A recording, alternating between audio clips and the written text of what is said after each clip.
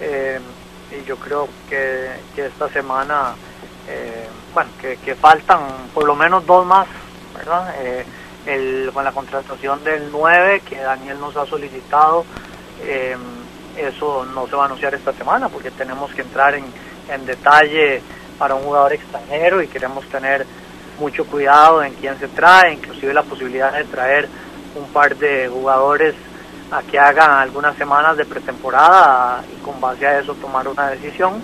Entonces, la definición de quién va a ser ese 9 que se traiga, digamos que está a algunas semanas de, saber con nombre y apellido quién puede ser. Eh, la decisión de traer a alguien, pues eso, eso sí, sí lo hemos evaluado y sí se nos ha solicitado.